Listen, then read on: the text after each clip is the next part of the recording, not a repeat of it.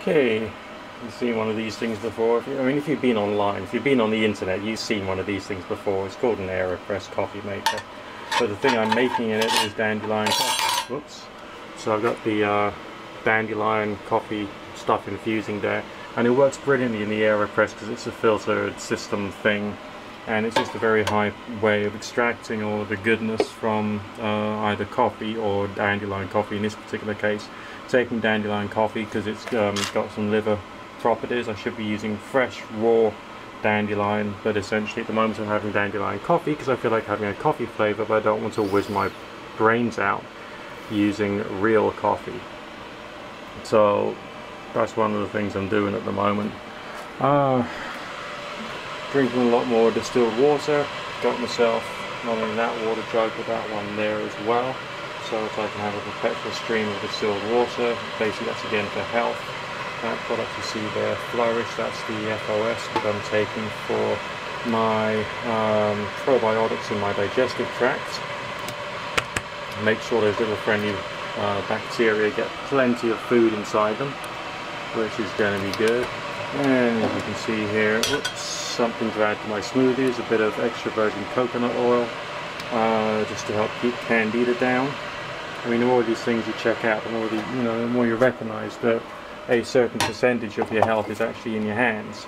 And obviously here I got like my lentils for when I want to make lentil bread, which I'm doing a lot less because I'm doing raw at the moment, or mainly raw. Uh, here, chia seeds, that's there is for my porridge in the morning. I take a couple of tablespoons of chia seeds, uh, mix that in with a couple of bananas, a bit of shelled hemp, uh, shove that into a blender and you know with a bit of water mush it right up properly. Makes a really like thick viscous uh, really pleasant sweet uh, porridge to have. It's absolutely fantastic. Alright there we see I've got some more dandelion leaf. I've got some milk thistle on order so I'm gonna add that to the whole thing I mean this I dried in the dehydrator this is just straight from the garden so I can have that as a tea as well uh, so this is you know, just how I'm looking after aspects of my health. Uh, I know my kitchen is a complete tip right now. I work for a living, I work from home, I don't always have time to get on with my domestic duties, but what the heck.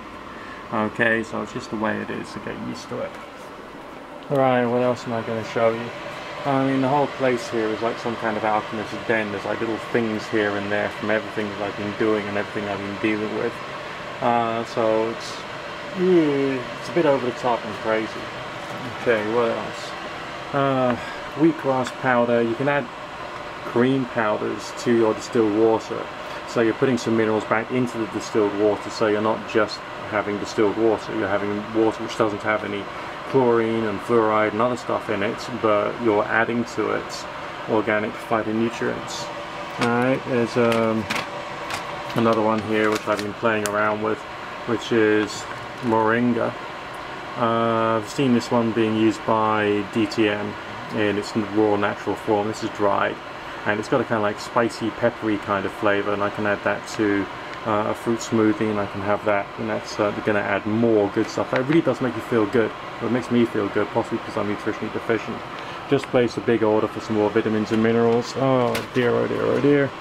Uh, of course, neti pot, using that every single day, keep my nose nice and clear. Whoops, I spilled a bit of dandelion coffee on that. I'm just going to have to clean that off later on. Right. Uh, Alright, okay, here we go. And I'm doing this from the point of view of a regular average Joe who's got like a complex life.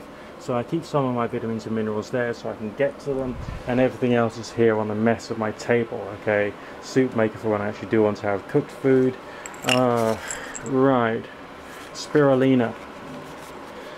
Over here we've got natural vitamin C, which is in a plant-based format. If you break open the capsules, it tastes rather sharp, so it's got like good citrusy type uh, fruits in it.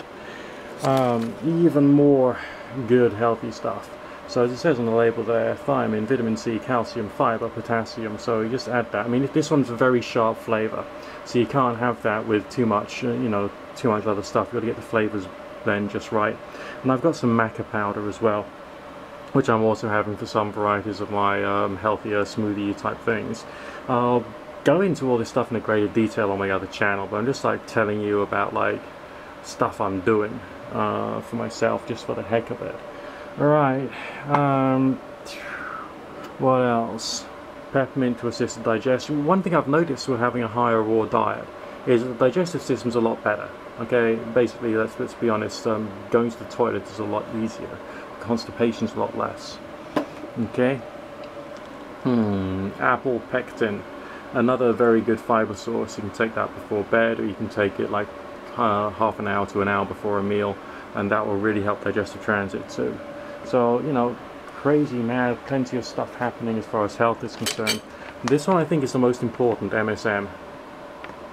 Alright, uh, we, we don't get MSM properly from our food.